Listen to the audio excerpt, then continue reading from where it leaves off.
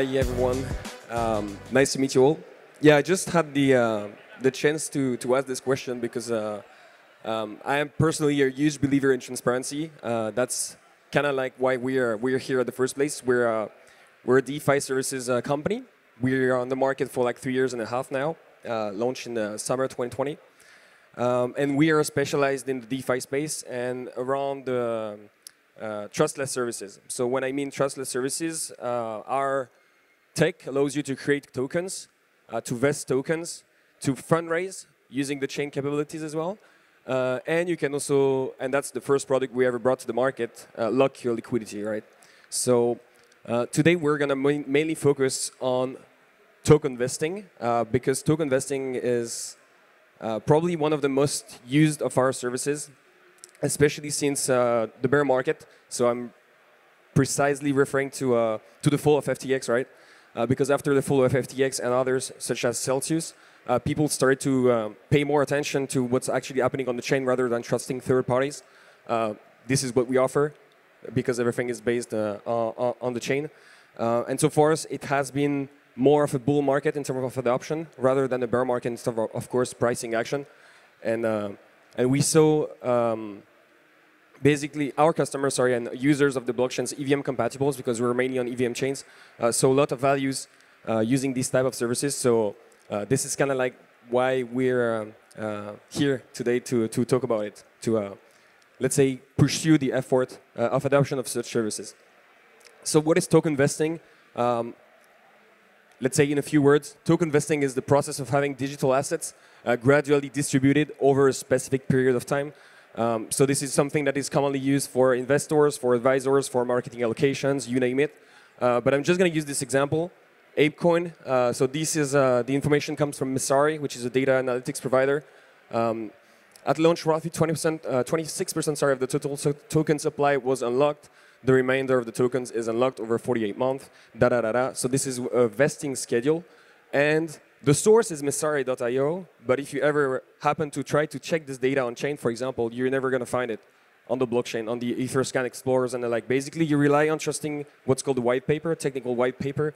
Um, and this is kind of the starting point of um, the different approaches that you may take when you want to vest tokens for, um, for your uh, favorite or just your projects that you launch. I believe there are a lot of founders in this room. Um, so this is kind of like probably Intel for you as well. So how, um, why would you use token vesting at the first place if you're a founder or if you're a, an investor as well? Uh, this is for team tokens, founders tokens, uh, also, of course, investors, advisors, marketing uh, allocations, token reserves, ecosystem reserves, staking rewards, you name it. Uh, liquidity, of course, you know, if you plan to ever list on decentralized exchanges or centralized exchanges, uh, and so on and so forth. Um, so this is more to like an introduction to give you the landscape of why you may need token vesting for which kind of use cases. And then you have different methodologies. Uh, how can you vest digital assets? You have, first of all, what we call the custodial vesting. So you're going to rely on a third party. In this case, I use Coinbase Custody. It's just an example. Of course, you have different, uh, uh, different types of providers, different types of services that are offered. But you basically rely on, in this case, Coinbase to vest your assets, and then founders, investors, and different allocations are withdrawn or claimed or even distributed by the custodial themselves. So this is the first way of doing it, which is kind of like the most used by, if you take by, um, by market capitalization, uh, the biggest projects in terms of cap, they're usually going to go for these, uh, these options, as well as the investors. So the biggest investors, you take like a, uh, the biggest venture capitalists, for example, they usually tend to like this kind of approach, uh, historically speaking, over the over the, the two last cycles, actually, not just this one. Then you have another method that is called the self-custody, uh, also known as uh, Dude Trust Me. So this is, of course, something that is uh, very different because you this time may rely on the team themselves and you basically trust them that they're going to distribute the tokens or not just simply distribute the tokens, but rather execute the plan as presented at the first place in their white paper, for example. So if someone tells you, hey, this is 100% of my supply, 20% is for the team, but I'm not going to touch it for the next two years, you have to trust this person or this team, or sometimes it's even it goes deeper than that because you may see that people are using Gnosis safes. So Gnosis safes are multi-signature wallets for those that are not aware. Uh, so you may believe that this is actually something that is uh, controlled by more than one individual, but you know who knows, right? This is again, Dude, trust me, uh, which is very used by um, low capitalization. Um, it tends to change, right? Because these low capitalization now use services like what we're going to talk about just next in the next slide, um, but something to keep in mind. And then you have the third method of doing it, which is called non-custodial vesting. So instead of trusting Coinbase custody, instead of trusting yourself or your favorite developer that you met on Telegram, for example, you're going to trust the chain.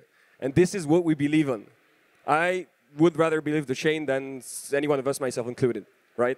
That's our take as a company and as a decentralized services provider. We believe in the chain uh, because this is data that cannot be changed. This is data that is uh, that can be uh, also challenged, that can be analyzed, that can be also used by third parties. Say uh, your favorite data analytics provider. We discussed about Messari. You can also think about Nansen. You can think about tokenterminal.com. You can also think about DeFi Llama. Anyone that knows a bit about DeFi and that put a hand into it knows these platforms that are that I am talking about here. Um, so basically the idea here, if we were to summarize, is that trustless vesting provides you with transparency, security, and precision for token schedules because if people are allowed to claim tokens by, let's say, January 20th at 5 p.m., that's one thing. But if they're allowed to claim the tokens at block number 1290071, this is what we call precision. There is no such thing as, oh, we unlock these tokens first because, you know, VC tier one, right? The chain is here the neutral third party that we need for this kind of um, uh, use cases. In our humble opinion, obviously, uh, we have a we have a bias because we love the blockchain. Then you can also apply this to liquidity. Uh, just as a show of hands, who knows what a rug pull is? Right? Whoever got rug pull? Sorry. so maybe you heard the term liquidity lock, right?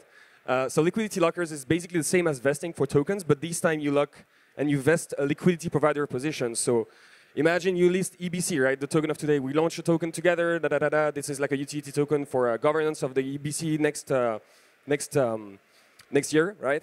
Uh, so we pull it into Uniswap, and then we say, okay, people see interest, they're going to buy the asset uh, because you know it has its utility and so on and so forth.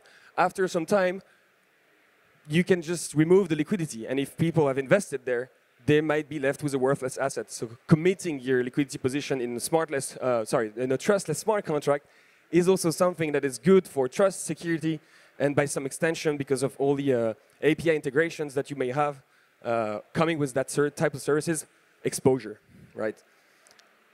And investors are looking for it. This is just a chart of the um, of the uh, of the usage that comes from the blockchain. Uh, once again, all the statistics that you will see today are available on the chain.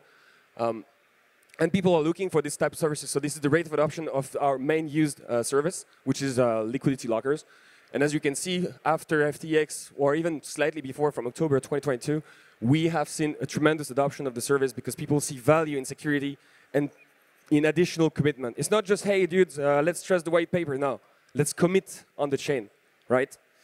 Uh, and of course, you have all these integrations. So maybe some platforms, some know, uh, some names, sorry, that you may have heard of uh, DexTools, Geo Terminal, DeBank Zerion, and the graph. And I'm just to finish on that. I think I have, yeah, one minute left. Uh, the graph is, uh, is very interesting because at first we were basically providing APIs ourselves as a company for third-party platforms. For example, CoinGecko, right? Hey, CoinGecko, pull the data from our API so you may reflect circulating supplies and vesting schedules on your platform. And one person in the conference told me once, like, hey, why would I trust your API? You're a company, you're centralized. So that's why we shifted from uh, our um, self-made APIs to use the graph. For those who know the graph, it's a decentralized network of APIs. So now we rely on the chain itself and on the decentralized network of the graph to stream this data to you know platforms that may be interested to uh, to uh, to display it. And then yeah, just a few metrics. We have uh, had over 100k customers served since 2020. Um, this is coming from Dune Analytics.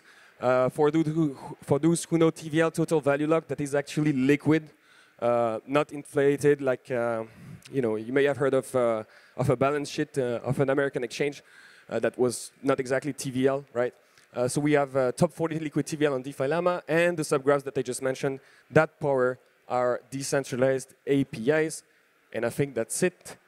Thank you very much. That was fast. That was a lot of information. We're available. Uh, we have a team of three people here, so please feel free to uh, check us out, discuss, and yeah, invest your tokens. Thank you.